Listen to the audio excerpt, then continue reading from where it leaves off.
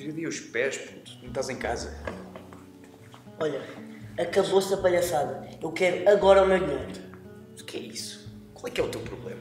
Pensas o quê? Pensas que eu sou algum idiota? Eu acho que tinha ficado bem claro que eu não te ia dar o dinheiro que tu querias. Entendeste ou queres que a polícia te faça um desenho? Polícia? Sim, Então polícia. acreditas mesmo que eu roubei essa porcaria de relógio? Eu acho que tu estás com algum entendimento ou uma falta de entendimento. Marcas um número que seja nesse telemóvel e eu parto da boca toda. O teu não teve nada. Tu és um ladrãozinho que anda para aí. Acreditas mesmo que eu sou ladrão? Eu não roubei relógio nenhum. Desculpa, tu tiveste semanas e semanas em minha casa e o relógio estava lá. Quando tu sais de casa, o relógio desaparece, milagrosamente. Ainda por cima o meu melhor relógio, o relógio mais caro que eu tinha. Tu não passas não passos do quê?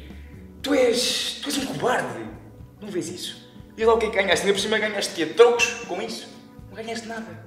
Ouça lá, menino do papá. O dinheiro pode comprar essa gravatinha francesa, esse fato italiano, mas não compra o direito de me ofender. Ainda por cima um fedelho que para ter dinheiro só precisou de nascer. Sabes o que é que tu és?